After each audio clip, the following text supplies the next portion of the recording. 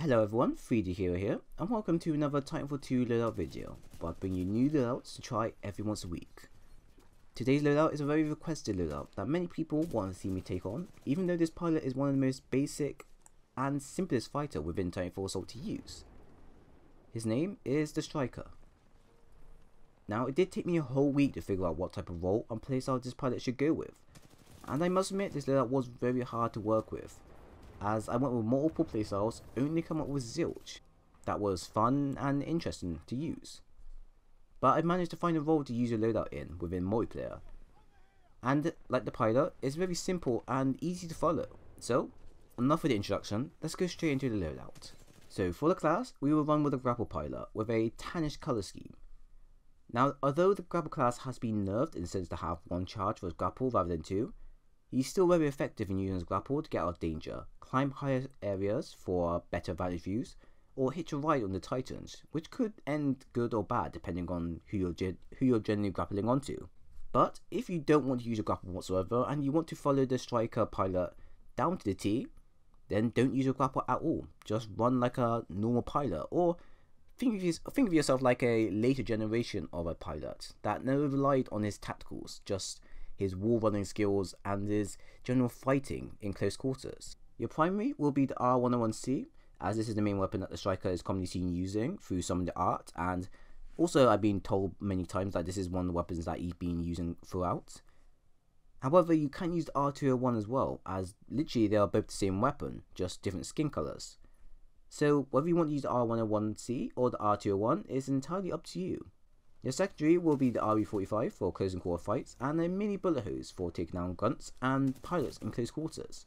Now, in one situation, I did go ahead and use a normal wingman to just generally test out and see if it fitted role perfectly. And visually, the weapon is nice. That's one thing that we can all get right.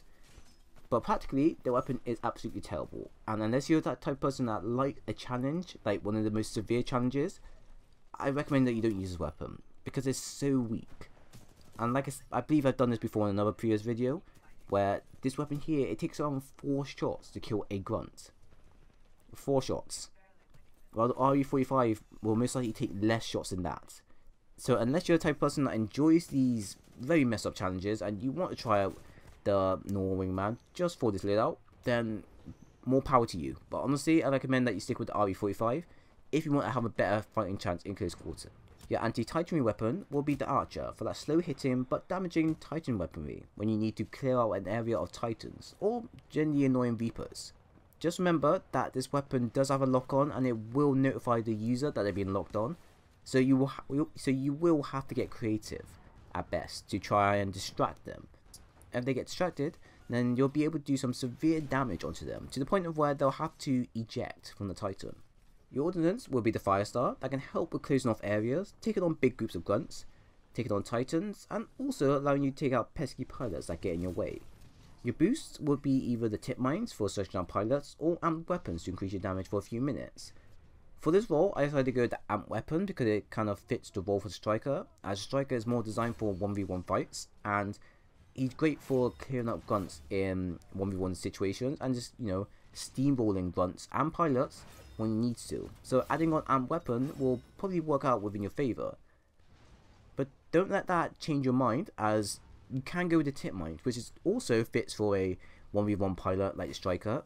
As while he's putting down some support fire onto a group of grunts and pilots, you can throw a few tip mines behind enemy lines to catch them off guard, which can then either kill them outright or get them out of cover, and leaving them out in the open for you to finish them off.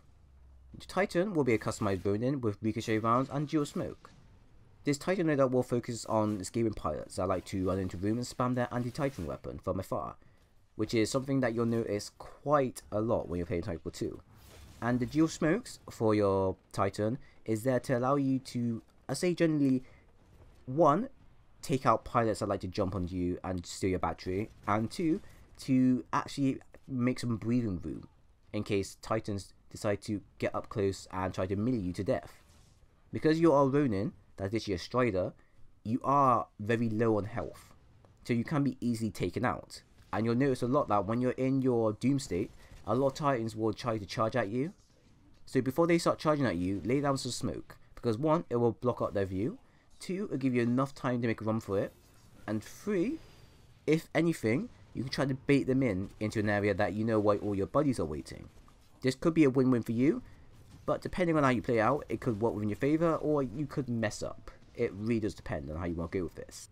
Lastly, your pilot kit will be fast regen for health recovery and low profile for sneaking around and attacking titans when they least expect it. Now, playing this loadout, I made sure not to get too caught up in 1v1 fights, as although the pilot is designed for that type of gameplay, he can get overswarmed by players who come together and work as a team, which is also a weakness for him, funny enough, in Titanfall Assault. So, to make the striker playstyle work out within your favour, I suggest you find a teammate, generally anyone no matter what level they are, and stick with them throughout the whole match, and generally just co-op with them. Just make sure that the person you do find is someone you can keep up with at least, and also someone that also notices that you are trying to work with them. The reason behind this is to give the striker pilot a actual role in PvP, since Titanfall Assault and Titanfall 2 are both completely different in terms of in-game mechanics. So it can give you guys something to work with, and also because it's fun to work with a total stranger, who both have the same endgame goal as you. Plus, you may also make a friend at the end of this, depending on how fun, how chaotic, or how absolutely stupid you guys want to get. But just remember, this isn't always for everyone. Some people will notice this straight away, and they'll generally work with you as if they are your true life friend or partner. Other times, some players won't even blink at you or even notice you, which is kind of sad, but that is generally how the in-game multiplayer world works in most online games. So play Striker as if you were playing him in Titanfall Assault. Focus on taking out grunts in heavily protected areas with pilots so you can get their attention while weakening the defense. Then, once things start to get hectic, find your co-op partner and stick with them to increase your chance of survival. Your gear is designed for taking down pilots and guns with relative ease, so you don't have to worry about being at any sort of disadvantage. Except for the fact that if you decide to go with the normal wingman, then that's kind of your fault. Even though I did recommend it, it's your fault. At this point, all you have to do for the rest of the game is stick with your selected partner, and work together even when both of you are in Titans that are completely different. Since you being in Ronin, you can act like a bait, while your partner can keep up with sustained fire, and so forth. Kind of like, you know, yin and yang, just both work together and try and coordinate. Now, use mics if you have it, or if you don't want to use mic, use the more basic forms that of communications, like teabagging. That's always worked, and even now to this day, it still works.